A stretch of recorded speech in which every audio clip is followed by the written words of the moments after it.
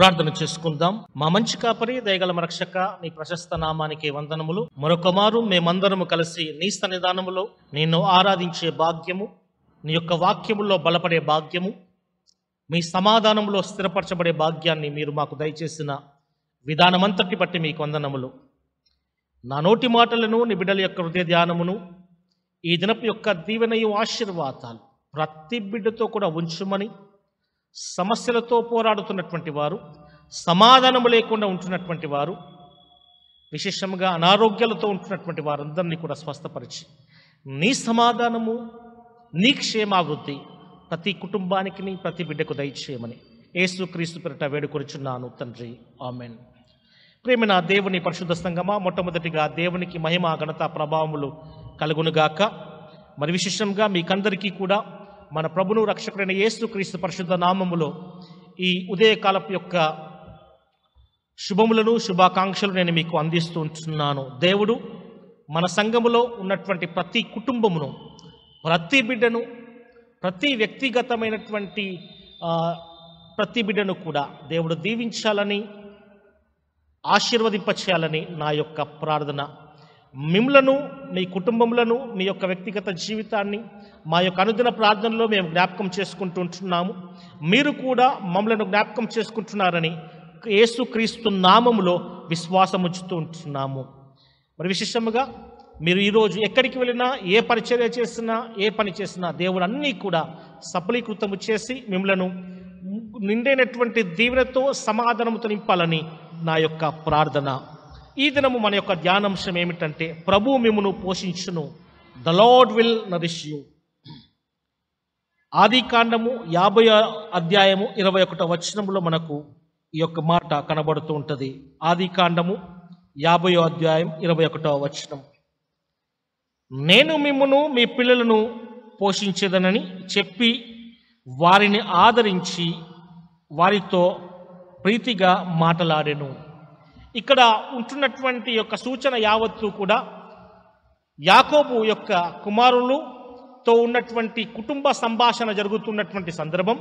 రెండవ విషయం ఏమిటంటే మరి విశేషంగా యాకోబు యొక్క కుమారులలో పదకొండవ కుమారుడైనటువంటి యోసేపుని వారి యొక్క అన్నలు అమ్మివేసి అక్కడ నుండి ఐగుప్తు దేశానికి వెళ్ళి అక్కడ బానిసగా జీవించి జైల్లో గడిపినటువంటి సందర్భం పోతిఫర్ ఇంటి దగ్గర ఉన్న జరిగినటువంటి అవమానం ఇవన్నీ కూడా తన యొక్క జీవితంలో ఒక చేదు అనుభవాలతో నింపబడ్డటువంటి తన జీవితము. దేవుడు తనను ఎన్నుకున్నటువంటి విధానాన్ని బట్టి ఐగుప్తు దేశములో ఒక మహా ప్రధానిగా తాను ఎంచ- ఎంచబడి విశేషముగా ఆ యొక్క దేశములో వారు ఈ యొక్క తండ్రి వారి యొక్క అన్నదమ్ములు ఉన్నటువంటి ఆ దేశంలో కరువు వచ్చినటువంటి కాలంలో వారందరూ కూడా భోజనము కొరకు ఈ దేశానికి వచ్చినప్పుడు ఈ దేశంలో ప్రధానిగా ఉంటున్నటువంటి ఆయన వారిని గుర్తుపట్టినటువంటి సందర్భము మనకు ఈ యొక్క కథలంతట్లో కూడా కనబడుతూ ఉంటుంది. కేవలం వారిని వారు వారి యొక్క అన్నలు చేసినటువంటి ఆ యొక్క పరిస్థితిని బట్టి తన అన్నలపైన కానీ తన కుటుంబ సభ్యులపైన కానీ ఆయన కోపం తెచ్చుకోకుండా తిరిగి తన యొక్క కుటుంబ సభ్యులందరినీ కూడా ఆయన చేరదీసి వారిని పెంచి పోషిస్తున్నటువంటి సందర్భం మనకు ఈ యొక్క కథలో కనబడుతుంటుంది. ప్రేమటువంటి దేవుని పరిశుద్ధ సంగమ ప్రభువు మనలను పోషించేటటువంటి వాడు. ఆది కాండము మొట్టమొదటి అధ్యాయం నుండి ప్రకటన గ్రంథము లోపల మనకు అనేకమైనటువంటి విషయాలు కనబడుతుంటాయి. దేవుడు ఒక్కొక్క వంశమును ఒక్కొక్క వ్యక్తిని ఒక్కొక్క కుటుంబాన్ని ఒక్కొక్క రాజ్యాన్ని పోషించి ఫలభరితం చేసినటువంటి విధానం.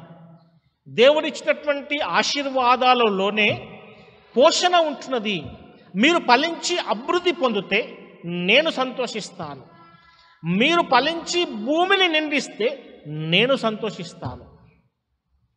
అంటే మనము ఫలభరితం కావడం ద్వారా మనల్ని పోషించేటటువంటి దేవుడు మనకులను పుట్టించినటువంటి సృష్టికర్త అయినటువంటి దేవుడు తాను మన జీవితాన్ని బట్టి మనకిచ్చి ఇవ్వబడినటువంటి శ్రేయస్కరమైనటువంటి జీవితాన్ని బట్టి ఆయన సంతోషింపబడేటటువంటి వాడుగా ఉంటున్నాడనే సత్యాన్ని జ్ఞాపకం చేస్తుంది. నూట ఇరవై ఏడవ దావిది కీర్తనలో ఒక మాట ఉంటుంది. ఏమని ఉంటుంది అంటే నీ చేతుల మా క- కష్టార్జితమును దీవెనకరంగా మార్చేటటువంటి దేవుడవని. ఒక విషయం మనం ఆలోచన చేయాలా? Whether we are blessing our self అంటే మనము మన యొక్క వ్యక్తిగత జీవితములో చేస్తున్నటువంటి కష్టార్జితము ద్వారా మనకి ఇవ్వబడేటువంటి జ్ఞానముతో మనం చేస్తున్నటువంటి బిజినెస్ ద్వారా మనకి ఇవ్వబడేటువంటి జ్ఞానముతో మనం చదువుకున్నటువంటి చదువులో చేస్తున్నటువంటి ఉద్యోగం ద్వారా మనము పోషింపబడుతూ దీవించబడుతున్నామా? లేదంటే దేవుని యొక్క ఉనికి మన జీవితంలో ఉన్న దాన్ని బట్టి పోషింపబడుతున్నామా? ప్రతి ఒక్కరం తలంచుకోవాలి? ప్రతి ఒక్కరము కూడా మనము మన యొక్క ఔన్నత్యాన్ని బట్టి అంటే మనకి ఇవ్వబడ్డటువంటి గొప్పతనాన్ని బట్టి మనం పోషింపబడుతూ జీవిస్తూ బాబా మరి ఆశీర్వపడుతుంటున్నామా ఆర్థికంగా. లేదంటే దేవుని ఉనికి మన జీవితంలో ఉంటే ఉంటున్నదా? నేను దేవుని యొక్క సంఘటనలు జ్ఞాపకం చేస్తాను. దేవుడు పరిశుద్ధ గ్రంథంలో ఆయా సందర్భాలలో పోషించినటువంటి విధానాన్ని నేను జ్ఞాపకం చేస్తాను. మొట్టమొదటి విధానం ఏంటిదంటే దేవుడు ఇస్రాయేలు ప్రజలను కానాను దేశంలోకి నడిపిస్తున్నటువంటి సందర్భంలో నలభై సంవత్సరాలు ఆరు లక్షల కంటే ఎక్కువ జనాంగము ఐగుప్తు దేశములో నుండి కానాను దేశానికి ప్రయాణమై చే ప్రయాణం చేస్తున్నారు. ఈ ప్రయాణము నలభై సంవత్సరాలు సాగింది.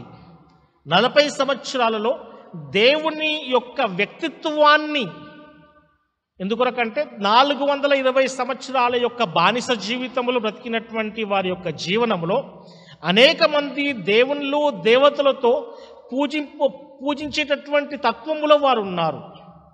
ఈ సందర్భములో నుండి నిజమైనటువంటి పోషకుడైనటువంటి దేవుణ్ణి యొక్క సన్నిధి పరిచయం కావాలంటే కన్నులారా వారు చూచి దేవుని యొక్క ఔన్నత్యాన్ని గుర్తుపట్టాలి.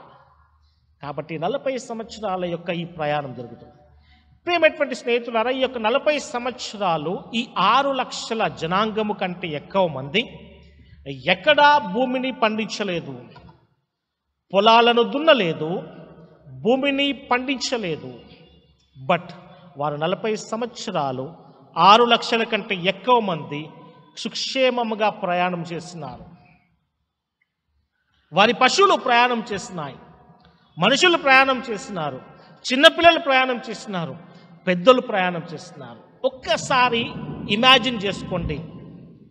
ఒకరోజు మన ఇంటి లోపల మన ఇంటి లోపల మన కుటుంబానికే తినడానికి వస్తువులు లేకపోతే ఒక్క పూటకు కుటుంబం అంతా తల్లడిల్లిపోతుంది. అటువంటిది ఆరు లక్షల మంది నలభై సంవత్సరాలు ఏ పంటను పండించకుండా వారు కేవలం మన్నా పైన ఆధారపడి ప్రయాణం కొనసాగించినారు. దేవుడు పోషకుడు.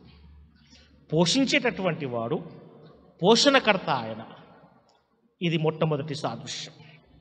రెండవ సాదృశ్యం వ్యక్తిగతముగా కూడా దేవుడు తన బిడ్డల ఎడల తన సేవకుల ఎడల తన సేవకురాల ఎడల తాను కూడా తాను తన యొక్క నైపుణ్యతను అంటే తన యొక్క ఉద్దేశాన్ని కావచ్చు తన యొక్క ప్రేమను వ్యక్తిపరిచేటటువంటి వాడు. ఏలియా ఒక సాదృశ్యముగా నేను జ్ఞాపకం చేస్తూ ఉంటున్నాను. ఏలియా. ఎందుకొరకు అనంటే ఏలియా దేవుని పక్షాన నిలబడ్డప్పుడు తనపైన అనేకులు కూడా ఒత్తిడి తీసుకుని వచ్చి తనను చంపాలని చూసినప్పుడు ఏలియా అడవిలోకి పారిపోయినాడు. అడవి లోపల ఆయా యొక్క పండ్ల పొలాలు తింటూ బ్రతుకుతున్నాడు.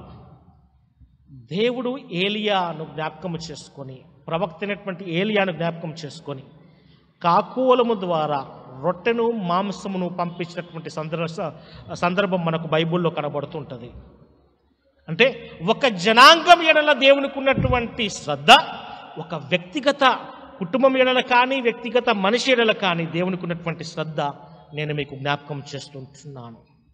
మూడో విషయం ఏమిటంటే యేసుక్రీస్తు ప్రభువుతో ఆయన నలభై దినాలు నలభై రాత్రులు ఉపవాసం ఉండి నటువంటి సందర్భంలో సైతానుడు వచ్చి ఆయనను శోధిస్తుంటాడు. అయ్యా నీవు దేవుని కుమారుడవైతే ఈ రాళ్ళను రొట్టెలు చేసుకుని తిను.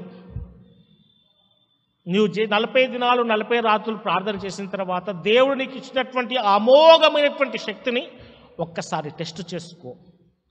యేసుక్రీస్తు ప్రభు చెప్పినటువంటి జవాబు ఏంటిదంటే మనుషుడు రొట్టె వల్ల జీవించలేడు కానీ దేవుని నోట నుండి వచ్చేటటువంటి ప్రతి మాట వలన ఆయన జీవిస్తాడు బ్రతుకుతాడు అనే సత్యాన్ని జ్ఞాపకం చేస్తున్నాడు ఒక జనాంగాన్ని దేవుడు పోషించగలుగుతాడు ఒక కుటుంబాన్ని దేవుడు పోషించగలుగుతాడు ఒక వ్యక్తి ఎడలకు కూడా దేవుడు శ్రద్ధ కలిగేటువంటి వాడే ఉంటున్నాడని సత్యాన్ని నేను జ్ఞాపకం చేస్తుంటున్నాను.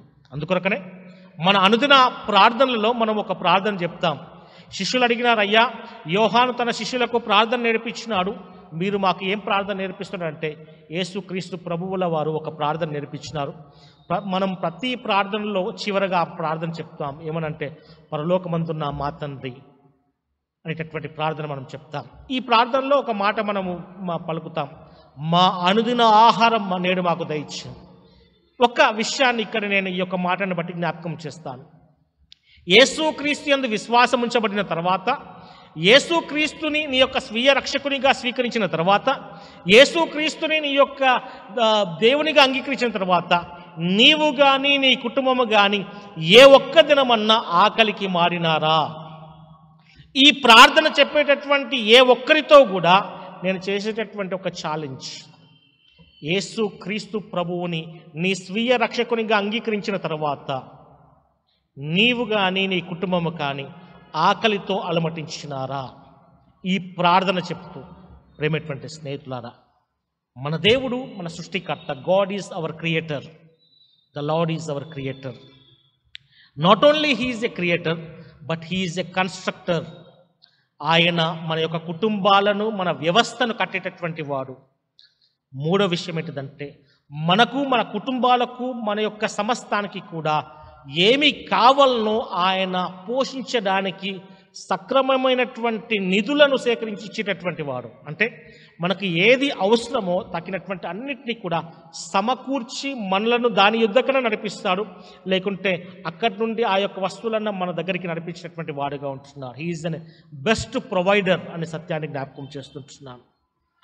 నాలుగో విషయం ఏంటంటే శరీరమైన తర్వాత బలహీనతలు ఉంటాయి. అనారోగ్యములకు ఇతాం our God is the best healer స్వస్థపరిచేటటువంటి దేవుడు.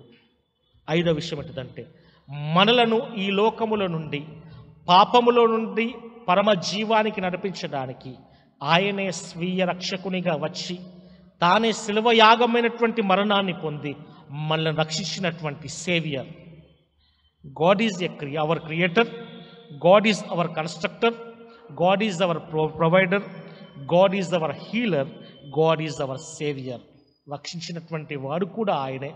మనల్ని ఈ లోకముల నుండి మనల్ని కడిగి శుభ్రపరిచి తిరిగి పరలోకానికి తన రక్తములో తీసుకొని వెళ్ళేటటువంటి వాడు కూడా ఆయనే. ప్రేమటువంటి స్నేహితులారా నీ దేవుడు నిన్ను పోషించేటటువంటి వాడు. నీ పూర్ణ హృదయంతో పూర్ణాత్మతో పూర్ణ బలముతో పూర్ణ శక్తితో పూర్ణ వివేకముతో నీ దేవుని ప్రార్థన ప్రార్థిస్తే తప్పకుండా నీ ప్రతి మొరలు ఆలకించి నీవనుకున్న సమయంలో కాకపోవచ్చు. కానీ దేవుడు అనుకున్న సమయంలో తప్పకుండా నీ ప్రార్థనకు తగినటువంటి జవాబును దయచేసేటటువంటి వాడు. అలాంటి కృప ఆశీర్వాదాలు తోడే నడిపించును గాక. మా మంచి కాపరి దయగల మా రక్షక నీవు మాకు మంచి పోషకుడవు. మమ్మల్ని ఎన్నడూ కూడా ఉపవాసం ఉంచేటటువంటి దేవుడవు కాదు. మమ్మలను అనవసరమైనటువంటి స్థితిలోనికి తీసుకుని వెళ్ళేటటువంటి వాడు ఎంత మాత్రము కాదు. మా జీవితాలను సరిచేయటానికి మా గుణాలను సరిచేయడానికి మా పద్ధతులను సరిచేయడానికి మా ఆలోచనలను సరిచేయడానికి ఆయా సందర్భములలో మేము కొన్ని సమస్యలను ఎదుర్కోవలసి ఉంటుంది. మేము సరికావాలి అనంటే అని అంటే మేము పవిత్రులముగా మార్చబడాలి అంటే నీ యొక్క రాజ్యపు నీతి కలిగినటువంటి బిడ్డలుగా జీవించాలి అంటే నీ బిడలుగా ఉండడానికి యోగ్యకరమైనటువంటి పాత్రలుగా మార్చబడాలి అంటే మమ్మలను సరిచేసేటటువంటి అధికారం నీకే ఉన్నది నాయన. ఇంకా ఎవ్వరు కూడా మమ్మల్ని సరిచేయలేరు. నీవే మా జీవితాలను కట్టేటటువంటి వాడు మేమే నీవే మమ్మల్ని కన్నటువంటి వాడు మీరే పోషించేటటువంటి వాడు మీరే మమ్మల్ని రక్షించేటటువంటి దేవుడవై ఉంటున్నావు. మీరే మమ్మల్ని నిత్య జీవానికి తీసుకుని వెళ్ళేటటువంటి వాడవై ఉంటున్నావు. ఎల్లప్పుడూ కూడా నీ అందు ఆనందిస్తూ నీకు మహిమకరంగా ఈ లోకంలో జీవించేటటువంటి వారమై ఉండడానికి నీ కృపను మాకు దయచేయమని. ఏసు క్రీస్తు ప్రభు ద్వారా మీరు మాకు ఇచ్చినటువంటి ప్రతి ఆశీర్వాదాన్ని బట్టి మీకు నిండు వదనం చెల్లిస్తూ ఈ దినపు యొక్క దీవెన ఆశీర్వాదంతో నింపమని మా ప్రభువును రక్షకుడైన యేసుక్రీస్తు ప్రట అడిగి వినయముతో వేడుకొనిచున్నాము తండ్రి. Amen. My God bless you ప్రభు మిమ్మును దీవించి ఆశీర్వదించి కాపాడునుగాక. ప్రభు తన యొక్క ముఖమును మీ మీద ప్రకాశింపజేసి మీ మీద దాయించునుగాక.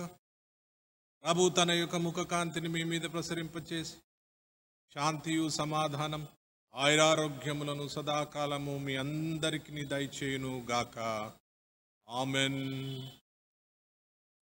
Thank you very much God bless you take care